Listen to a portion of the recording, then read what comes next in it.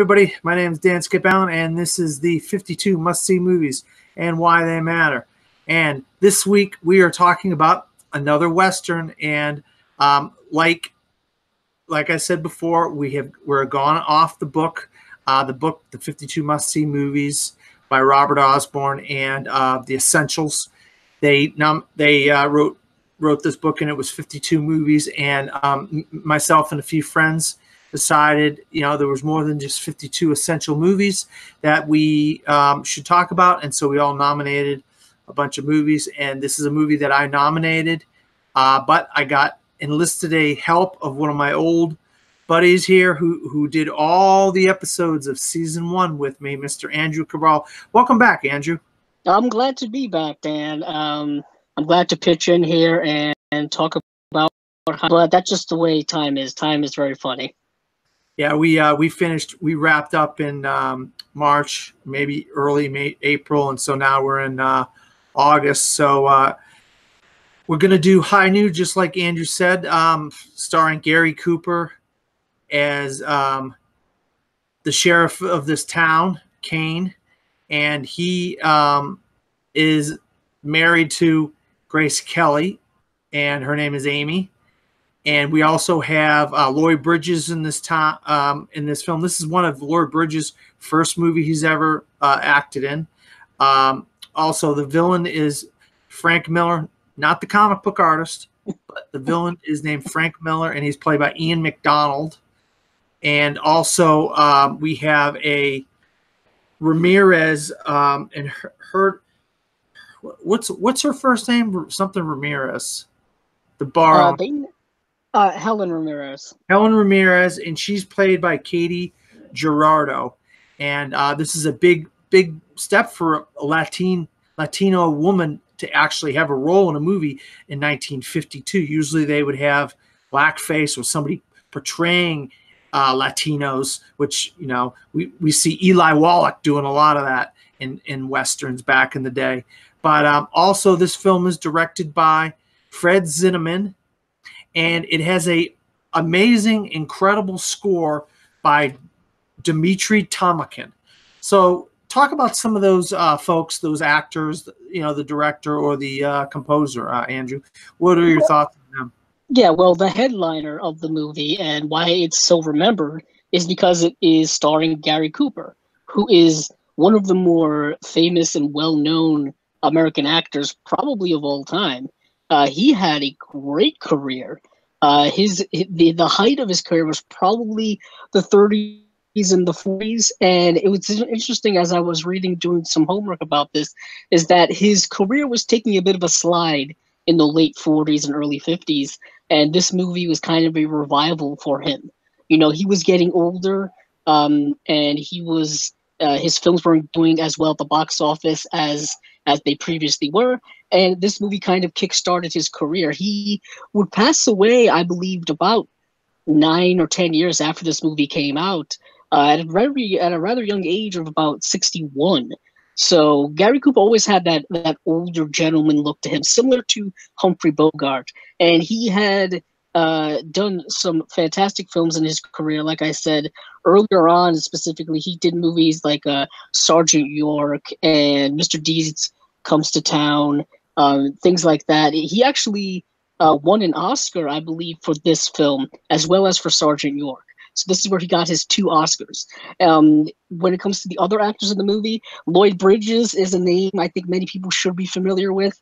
He's the father of both uh, Beau Bridges and Jeff Bridges, uh, kind of a, uh, you know, a, a, an acting lineage in Hollywood, if you will. Uh, Grace Kelly, people know probably more for her role as one of the Hitchcock blondes, which would happen later on in this decade. This is a very early film for her. She's only about 21 years old in this movie, so really getting you know, seeing her at the very start of her career. Yeah, absolutely. Grace Kelly, you know, Rear Window, she was fantastic in that. Um, and so, what um, High Noon is based off of a short story called The Tin Star from John W. Cunningham. And, you know, a lot of movies back then, they were take they they took from like all kinds of different places books and magazine articles and just they you know they didn't have as much material as they do now to turn things into movies like comic books and so forth and all the different um, stuff. So the Tin Star was a, a, short story in a magazine that they turned into a uh, movie, and and that's why we get High Noon So um, to start off, we get a man on a horse and um, men watching him ride. Um, then we get, like I said, we have Dimitri Tiomkin, and we get this ballad of High Noon, this song that that that just plays over the film periodically throughout the film, and it's just such a um, like melodic song. You just know what this film is when, when you hear this song. You know, it's such a big part of the film, and sometimes music can do that with uh, with uh, films, Andrew. And um, we get a wedding, and it turns out our stars of Gary Cooper and Grace Kelly, Kane and Amy are getting married. And um, we get bells ringing and men ride into town. So talk about some of that stuff. That's the beginning. Yeah, yeah, yeah. The beginning, very beginning of this movie, they don't. They, uh, this movie is very stripped down when it comes to um, kind of plot elements. It's also we should mention a very short movie. Movie's only about an hour and twenty five minutes, so it's very lean. It's very quick, and you know things get to the point very quickly. Um, like Dan said at the beginning of this movie, uh, there are these kind of outlaws or marauders, and they they're riding into town because uh, we come to find out that they want they are waiting for the train to come at noon, and on this train is the character that Dan mentioned, who is a pretty bad outlaw himself and has a history with the Gary Cooper character, and and during right after the wedding is when we kind of find out that this character is returning to town and and that's when um, Gary Cooper and Grace Kelly's character uh, have to make a decision that they're leaving the town anyway. They might as well leave now uh, because they have a pretty damn good reason to. Um, and and what we what we also find out is that is that uh, Gary Cooper's character is no longer the marshal of this town. He's leaving. He's going to he's getting married, he's going to another town to open up a store, and he's going to live his life someplace else. But now he is at a crossroads of, you know, should he stay here or should he leave? And initially, he does leave. Um, the, the scene that Dan talks about kind of ends with uh, them two riding out of getting riding out of town, and the Lloyd Bridges characters in the local, I would say, hotel, if you will, and he's looking out the window and he's seeing them ride away. Yeah, and um, they have gentlemen, these men that are riding into town. They're part of Frank Miller's, Ian MacDonald's posse, and they're uh, Mr. Pierce and Mr. Colby, and they are part of the group that's going to come and take over the town again. But like you said, um, they end up having to drag um, Kane back into town, Marshal Kane back into town, because they find out that he is he is coming back on the noon train. Um, Ian MacDonald's character of Frank Miller is coming back on the noon train. Well, that's why we get the title of the movie, High Noon. Right. That's what they called and, it at the time, High Noon. And and in the scene that after they ride out of town is when we re is when we meet uh, the Lloyd Bridges character for the first time, and when we meet uh, the Ramirez character for the first time, and they have a bit of a a romance going on, a, a relationship going on um, that they kind of want to keep secret. Um, that that's hinted at through, throughout the movie, um, and like Dan said, uh, the the bad guys ride out to the train depot, and the train depot guy is actually the one who rides into town to tell everybody what's happening. You know what I mean? It's not like today when you know news travels so fast and it's so easily easily accessible. It's usually just, uh, you know, back then it's usually just one guy knowing the news and then telling it to someone. They tell it to somebody else, um, and and what ends up happening, the long and short of it is, is that the Gary Cooper character decides, you know what, I'm turning around, I'm coming back to town, and he wants to gather up a posse to confront Frank Miller when he arrives at noon. And he talks to the judge, and the judge is like, "No, nah, sorry, it's all you, buddy. I'm taking off. I'm leaving town." Yeah, yeah, I'm the one who sentenced him. Who do you think he's going to kill first? Probably me. And of course, he says, you know, uh, one of the lines, a line in the film, he says, he swears he'll kill you. He'll never hang. You know, that's that's what uh, Frank Miller said that he he swears he's going to come back and kill Marshal Kane and that he's never going to hang. And well, we find out he didn't hang and he's coming back to kill Marshal Kane. Yeah, it, what is interesting is we find out that Frank Miller was, you know, he's a really bad guy. The town uh, was, you know, a really, you know, a, a difficult town to live in with Frank Miller and his gang running around. And Marshal Kane kind of cleaned it up, including getting Miller put in jail for murder. Um, and what happened is, you know, he got sentenced to prison. He was supposed to hang, like Dan said, and apparently he ended up getting released instead. Yeah, and of course, there's some people in the town that don't like Marshal Kane for various right. reasons, and one of them is the hotel maitre d, and he he believes that Marshal Kane has that comeuppance coming. Uh, yeah, comeuppance. Yes. A comeuppance. And what is interesting is the film is basically, like we said, is him going around to each place to try to get people to join him. And everywhere he turns, everywhere he goes, people say no. He goes he goes to uh, the local saloon where Frank Miller apparently has has friends. Nobody will help him there. He goes to the church where the churchgoers are. Nobody will help him there he go and he just goes around to even his own friends, people who he trusts. He only gets one guy to commit. He gets he does get one guy to commit, and and then and then he got the guy's like, okay, I'm gonna go uh, handle some stuff. I'll be back later, and and then he goes around and he can't find anybody to to commit to this. And we find out that even though he cleaned up this town and people are safe in this town, presumably, people don't like him uh, and, and it's interesting. They're, they're, they never really reveal quite why. Like, there's never a definitive reason. Um, what Dan was saying with the the hotel manager is he basically um, blames Kane for the lack of business coming into this town or the lack of uh, you know you know economic prosperity within the town because he cleaned up all of the riffraff who I guess were you know populating the town uh, at the time.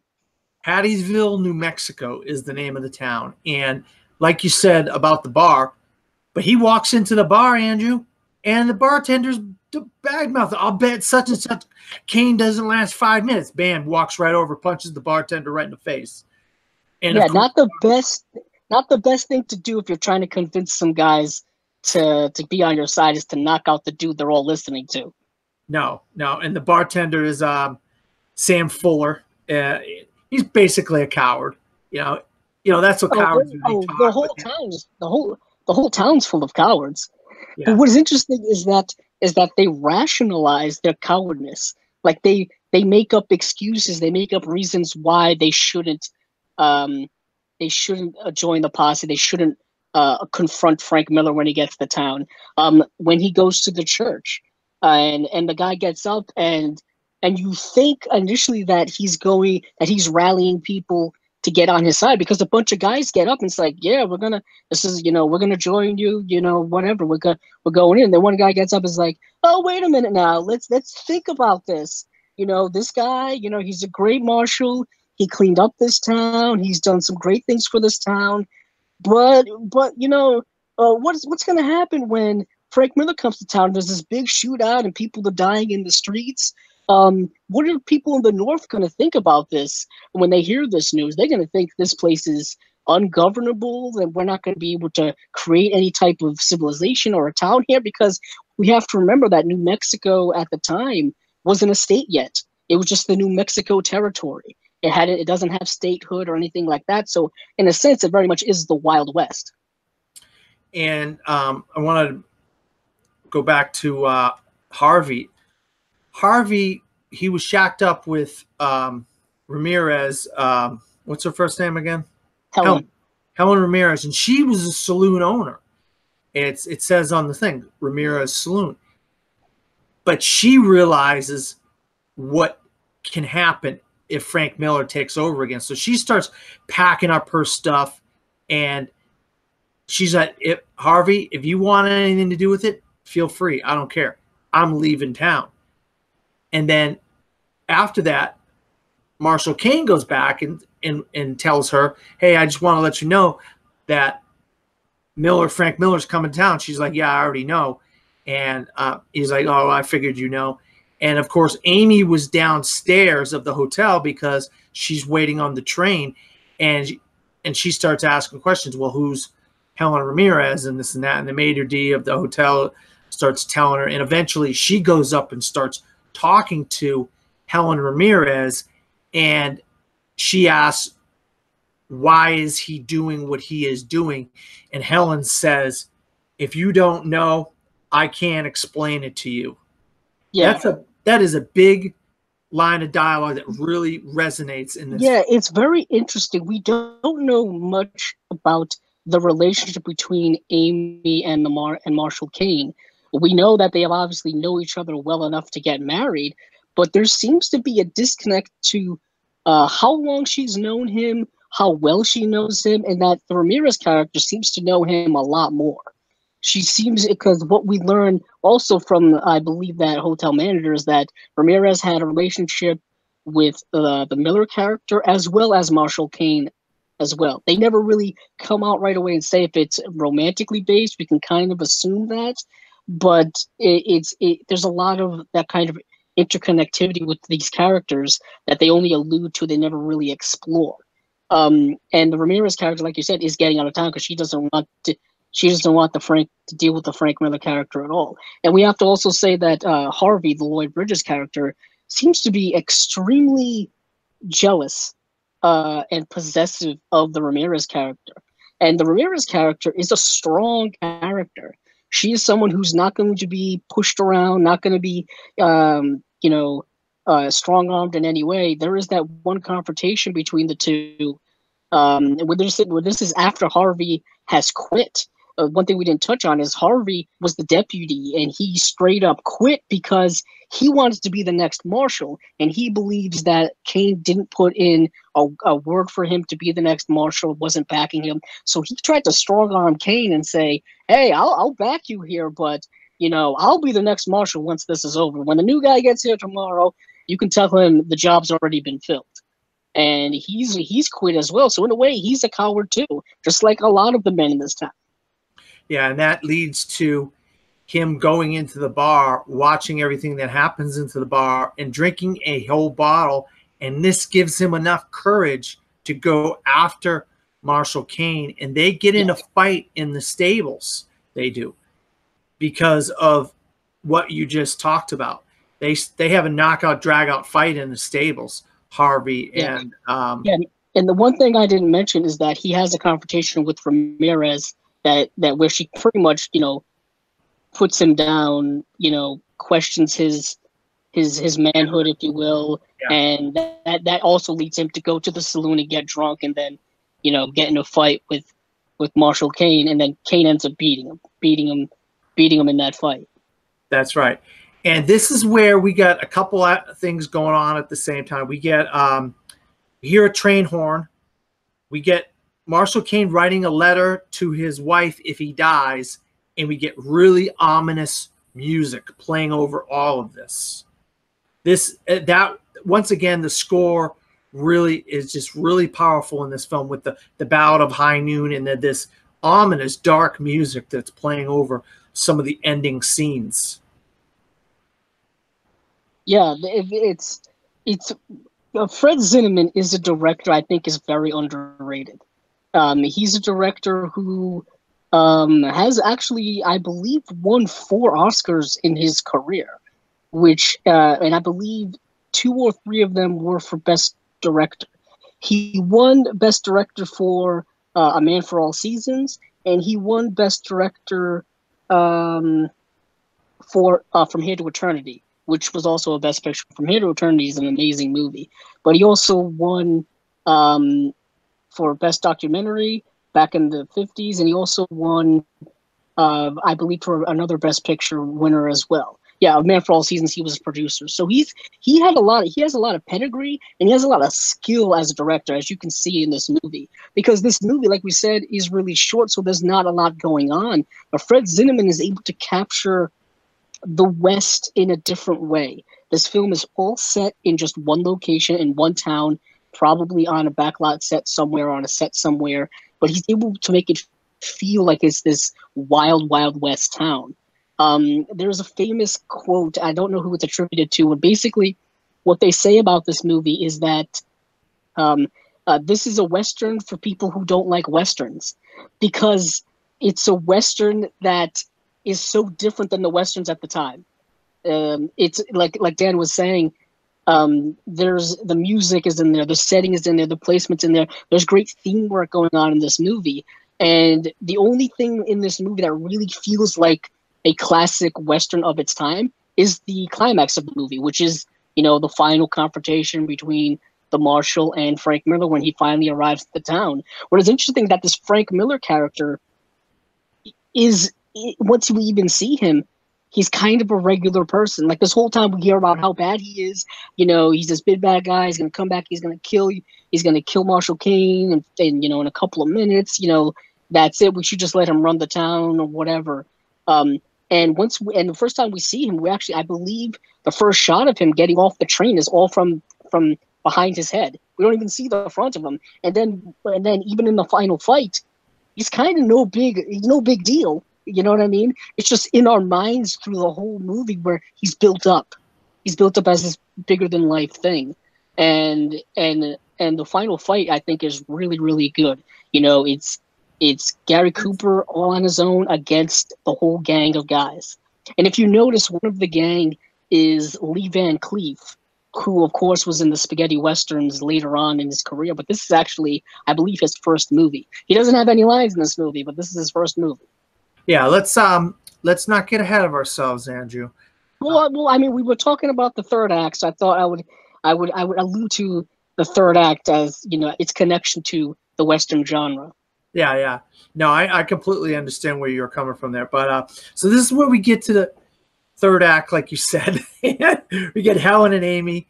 They get on the train, and guess who's getting off the train? It's Frank Miller. He's getting off the train, and Frank Frank arrives, and his men greet him, of course, you know. And uh, the men walk into town. One guy breaks a window, and he grabs what is it, a bonnet or something? He's what yeah, I thought it was like a like a, a, purse or something, a bag, a satchel, something. Yeah. And I'm like, uh, like, why are you doing this now and not after the fight? But whatever. And then uh, when they come into town, we'll see this is what this is what's amazing about this is when they break the window, Will hears them. Will Will Kane hears them, so he was he's able to go hide. And while they're walking, he's able to shoot one of the guys. So he knocks out one of the guys right away because they were stupid enough to break the window and alert Will Kane of their presence. Oh yeah, yeah. They're, they're, these guys aren't, aren't, aren't smart people at all. But uh, the scene right before they arrive into town, there's this one shot I have to point out where it's him standing in the main street and it's completely empty. There is nobody around, and the camera just uh, pans back out just to see how alone he is and how isolated he is. Which I'll, I'll talk about the, the isolation in this movie a little later because it's it's it's for obvious reasons and there's a point to it. But there's a great shot um, because, like we said, it's him against the world essentially. No, you're absolutely right about that. And uh, then when Amy hears the gun go off and she she assumes somebody's been shot, she jumps off the train and runs back into town, and she hides somewhere and I don't know how this happened, but she ended up getting a gun, and she sees a guy who's who's going after uh, Will Kane, and she shoots this guy in the back. Yeah, which and, is very interesting because she's a pacifist. We learn in the movie that she is a Quaker, but not by birth, but by um, personal choice, because both her father and her brother were killed by guns and violence. So she doesn't want anything to do with it. She really doesn't want anything to do with uh, the marshal taking on these guys at all, which is why she wants to get on a train and get out of there. That's right. And so now we're down to two guys and Will they they kind of corner Will in a in a barn, and um, Frank Miller throws a lantern into the barn, which sets the barn on fire and sets the hay on fire. And just like a good guy that he is, Will Kane decides, you know what? I'm not going to let these good horses go to waste. I'm going to I'm going to let these horses go. I'm and I'm going to hide on one of the horses while they're running out. I'm going to run out with one of them on their back. So he had a plan with releasing the horses because he was able to get out of there because they had him trapped. But he was able to shoot one of the guys before they were able to get him. Yeah, so, I think he, he's running away, and then I think one of the guys shoots him. He gets and he falls off the horse, but I think he turns and then he shoots the guy who's shooting him. But then he goes and he hides uh, because it's just down to him and Frank Miller. Um, and Frank finds out where he was like, "Why did our guy? Why did one of my guys get shot right there? Frank, what's yeah. his face is over there." So he goes around the building and he goes inside. He finds out that it's Amy, and he captures Amy. Yes. And then he comes out on the street and he says, "Will Kane, come out. I got your woman." And he's like, "All right, I'll come out. You release if you release her, I'll come out." So he starts coming out, but she like a feisty lady that she is, she ain't going down or anything. She scratches him in the face, which then releases her from him. Then he gets away, and Will's able to shoot him right in the middle of the street. Right, and then then he, of course, he goes over to see if baby's okay, and and then and then and, and again, she's she's okay. Um, what is interesting, where she was hiding was his marshal's office, and and what do that's where all the guns are, obviously. Well, that's um, where and what is interesting Harvey's gun was. He hung it. Yeah, and I'm pretty sure because I'm pretty sure that's the gun she used. Like I'm like 100 percent on that because early on when Harvey quit, he takes off his gun belt and he hangs it on a on a peg. And there's a shot of that gun like later on that they linger on for a little bit earlier on in the movie and like, oh, I wonder if that's going to come back and play and play a part in this and let and and it does and that's when of course he grabs her. But one one of my favorite parts um, is after this is over, after he shoots Frank Miller, he's dead. He has his wife. That's when all the town folk come out. They just come out of the woodwork like, "Oh, it's over. Oh, how'd it go?" You know, uh, yeah. and then you get, and then the then you the the the, the scene what he does at the very end. Well, the the wagon, the boy brings out the wagon with the horses because that's what he had the boy one of the things he had the boy do because boy wanted to fight with him he said no go back. Yeah. so the boy brings out the wagon with the horses. He hugs amy. He gets on before he gets on the wagon with amy he throws the star into the dirt. They get on the they get on the wagon with the horses and then they ride off. And that's yep. and, and then yeah there's the shot of just i think there's a shot of the the badge in the dirt like right down in the dirt um, yep. which is a very powerful moment. It, it's it's very small, but it's very symbolic of of you know you know almost like it, it, it like almost purging himself of the responsibilities of being a marshal. I think also saying a statement that you know almost like the whole time he doesn't say what he really wants to say to these people and in that moment i think that that's that symbolizes what he wants to say. You know what I mean? That here, take it. I'm done. You know, you ungrateful people. Here you go. You know, I'm out. Yeah, and you know, like you said, I mean, I want to I want to go back to the shot of him in the street all but, but they they're building to that scene throughout the entire movie when he's going to the different people and and one of the the real key one to me was when uh, he was at the wedding and everything was fine. And he was one of his best buddies and stuff. Lon Chaney, he goes to his house and he's like, Hey, I need you. You know, you one of my best friends in the whole world. He's like, Frank, I got messed up hands. I got messed up yeah. knuckles. I got I got um, arthritis. I can't I can't do any good. I can't do any good for you. I'm sorry. Yeah, that, he goes he, he goes to see Lon Chaney Jr., who I guess was the marshal before he was the marshal. Apparently, and and it's like he's pretty much at the la- at the end of any viable candidates because even before that he goes to see uh, somebody who we are, we are told is his best friend and the guy the guy is such a coward he won't even tell him to his face that he doesn't want to do it. He has his wife do it, and he know, and he and and she's like, he's gonna know I'm lying. You know, I'm not. And then of course he knows she's lying because she says, "Oh, uh, oh, uh, we went." Uh, you know, he went to church or whatever, and then and, and it's like, and it's like, oh, without you, and she's like, oh yeah, I'm I'm just getting dressed, I'm on my way there now, or something like that, and he's like, no, he's hiding, he, knows he's hiding in the back of the house. It's Sam Fuller, another great actor that you might know of. Um, Harry Morgan. Harry Morgan. Now, um, Harry Morgan is a famous actor. He he did some TV um, in in the um, in the 80s, but this is one of his uh, big big roles that he um, he was in early on in his career. Um, what what was it? Um, the the the uh, the policeman. Um, they re they did a remake. Hank, Tom Hanks and Dan Aykroyd. Oh, uh, Dragnet. Say that again. Dragnet. Dragnet. That's right. Yeah, Dragnet. Harry Morgan Yeah, yeah. is from Dragnet. Well, he was also he was also famously in Mash. Mash too. Oh, that's right, Mash. I forgot about that Mash. That's right. Those are the two things. So Harry Morgan is the friend, and um, he, like you said, he he, asked his wife to go out there and uh, and do it for him, and he, so nobody wants to stand with Will No. Kane, and, And even the guy even the guy who said he would stand with him, uh, who comes back later, who I talked about earlier, uh, yeah, he backs out as well. He's like, when he comes back, he's like, okay, how many? Like, uh, all right, where are all the fellas going to be? Here, We got to start planning.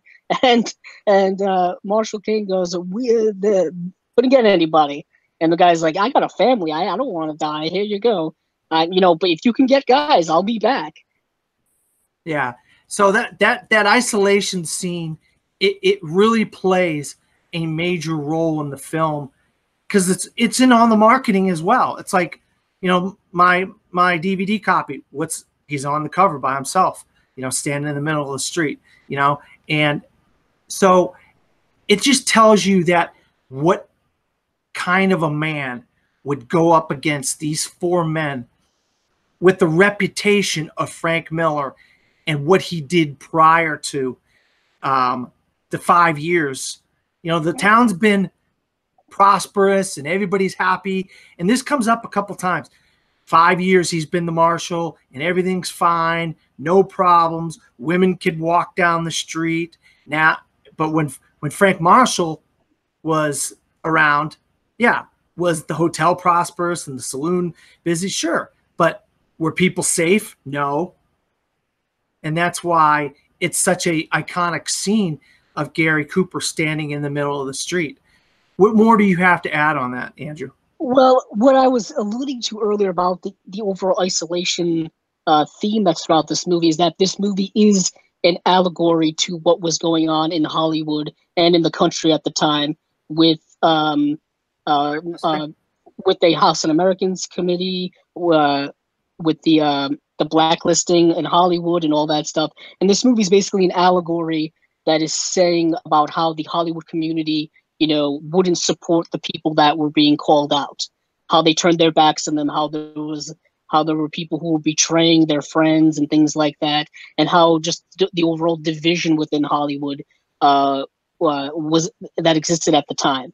Um, it was a very interesting time in the in the whole Hollywood uh, you know the whole history of Hollywood, and a lot of you know a lot of important things happened. A lot of people who were immensely talented uh, were couldn't get work at all. A lot of people's careers and livelihoods were destroyed because of it.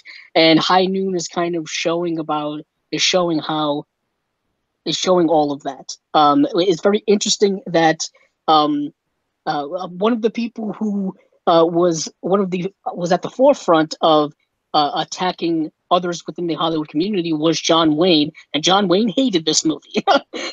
Coincidentally, John Wayne loathed this movie. He hated this movie so much that they made that he and Howard Hawks remade this movie uh, in the say in 1959 called Rio Bravo, and how and basically how Rio Bravo is kind of the the opposite of this movie, where the where you know it, it, the the guy was able to stand on his own without asking for help. You know what I mean?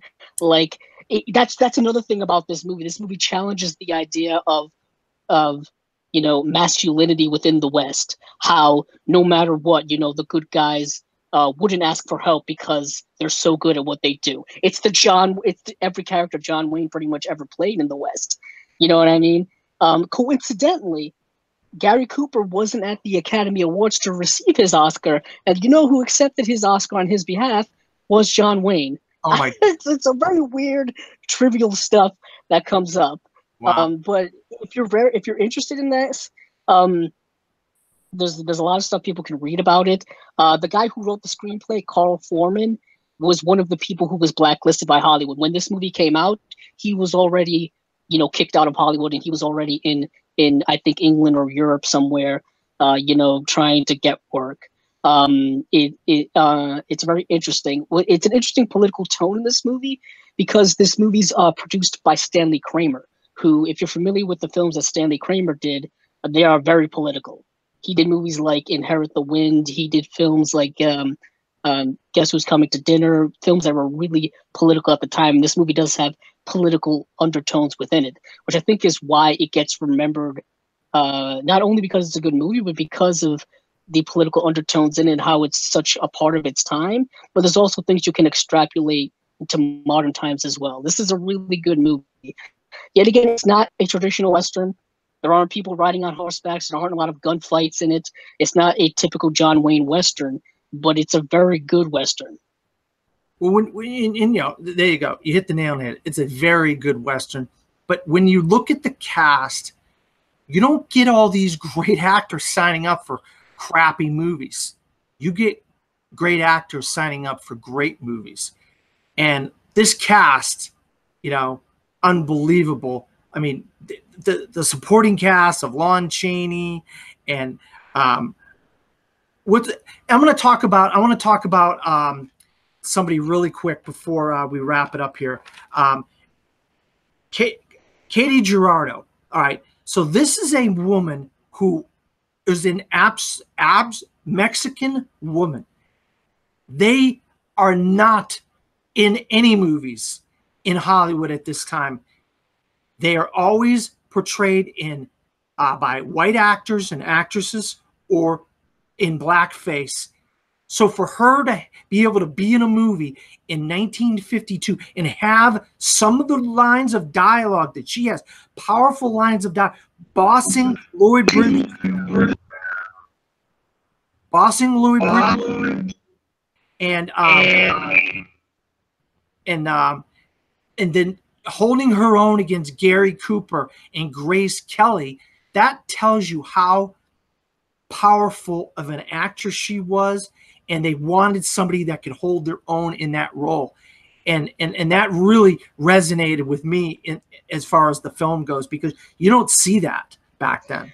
Yeah, and as in something um, Bush or they were uh, just a real genuine that realist taking attribute them. Where it only played like a tour, she sung Phil Carroll who standing child the mounter um and you'll learn in the is he um, that but what props wants to sound fake one of ways because she him uh told him to ask him rush leaving. I shouldn't all leave you available. Uh and and he you know he you for all the man you know the hell out is it is that guess guess there's insert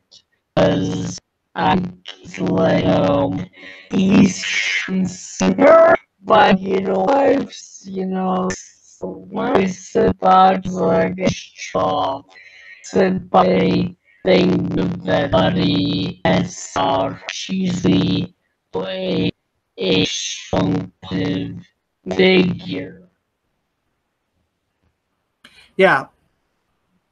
So that's you know that's you you know we really shed some light on on this film that was we you know the book the book has 52 movies, and they're all phenomenal movies.